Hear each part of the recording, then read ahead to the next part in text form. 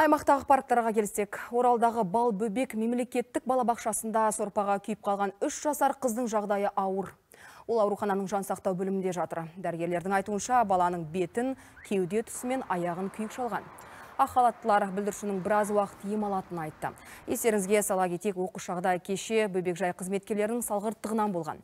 Олар түскі ас кезінде балаларға сорпаны суытпай алып келген. Балабақшаның меңгерушісіне қатаң сөгіс беріліп, тәрбиеші мен оның көмекшісі жұмыстан шығарылды. Оқиғаға қатысты полиция тергеу амалдарын жүргізіп жатыр. екінші үшінші дәрежелі күйік көлемі 20-25 пайыз деңгейде ауырсынуға қарсы интенсивті жаңа шокқа қарсы емдерін қабылдауда жаралары күнделікті байлап танылып жатыр.